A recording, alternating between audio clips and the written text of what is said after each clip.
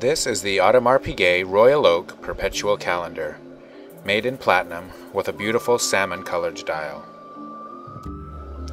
Audemars Piguet was founded by Jules Audemars and Edward Piguet in 1875. They are one of the oldest watch manufacturers. They trademarked their brand in 1882.